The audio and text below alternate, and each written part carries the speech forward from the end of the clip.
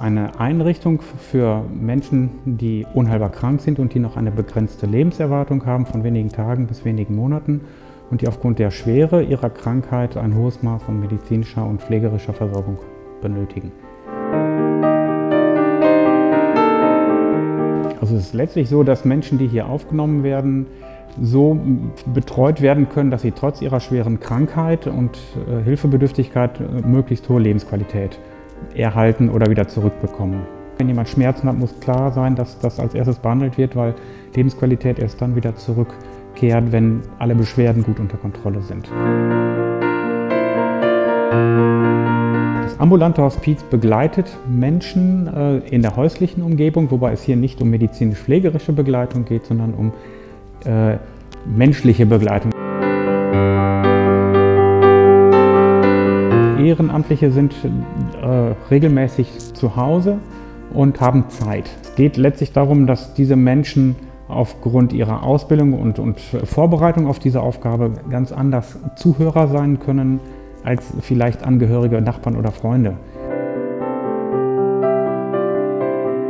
Das stationäre Hospiz ist eine, letztlich eine Pflegeeinrichtung, die aber gleichzeitig auch medizinische Versorgung gewährleistet, wie im Krankenhaus. Dass man die Fähigkeit hat, sich persönlich zurückzunehmen, nicht die persönlichen Dinge in den Vordergrund zu stellen, erstmal wirklich zuzuhören, jedem respektvoll und äh, wertschätzend gegenüberzutreten. Ja, das Gefühl zu haben, äh, das ist eine, ein, ein Tabuthema. Das muss ein selbstverständliches Thema sein, sich mit dem Sterben äh, auseinanderzusetzen. Also wenn man es mal wörtlich nimmt, helfen wir beim Sterben, indem wir dafür sorgen, dass er würdevoll, dieser Mensch würdevoll versorgt wird und aufgrund einer guten medizinischen und pflegerischen Behandlung dieses Sterben nicht als etwas äh, Schreckliches und, und äh, Bedrohliches empfindet, sondern etwas, als etwas, was er leisten kann. Für mich ist ähm, immer das, der Marathonlauf ein gutes Bild. Wenn ich den alleine durchziehen muss, werde ich irgendwann einknicken und werde das Gefühl haben, ich schaffe das nicht. Wenn ich genügend gute Begleiter habe, solche, die mich anfeuern, die mir zur Seite stehen, die mir mal Wasser geben, die mir äh, immer wieder auch den Zwischenstand zeigen, äh, dann kann ich, kann ich das schaffen. Im Grunde geht es darum, dass ich nie alleine das Gefühl habe, alleine zu sein.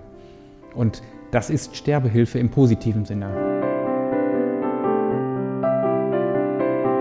das, was politisch, äh, äh, ethisch diskutiert wird, ist eine Frage, wo es um Tötung geht. Sterbehilfe im Sinne des aktiven Tötens eines Menschen, damit er sein körperliches Leid beenden kann, so wie er es empfindet, das ist eine völlig andere Dimension der Sterbehilfe. Und unser Ziel ist, Menschen dabei zu helfen, dass sie nicht leiden müssen in ihrer Sterbephase und gar nicht das Bedürfnis entwickeln, äh, getötet werden zu wollen. Die Diskussion der Sterbehilfe ist eine Diskussion der Gesunden. Die Gesunden denken, wenn ich leide, möchte ich meinem Leben ein Ende setzen. Sie wissen nicht, oder viele wissen nicht, dass man, wenn man gute medizinische Versorgung macht, eigentlich jegliches Leid auch nehmen kann. Im Grunde ist das immer eine indirekte Frage. Äh, die Frage heißt, äh, könnt ihr mir bei meinem Leid, äh, bei der Leidminderung helfen, dass man eine gute medizinische Versorgung gewährleisten kann?